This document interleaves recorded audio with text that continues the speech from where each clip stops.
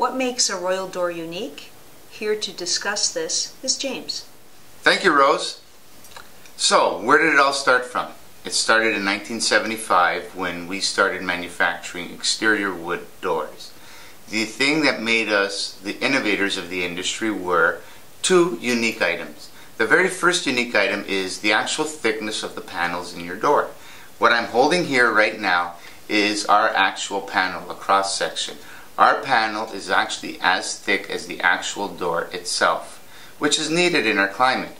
We range in temperatures between negative 30 and positive 30 in this country. So, the panels that were found on the marketplace back then we noticed were barely half an inch or thicker.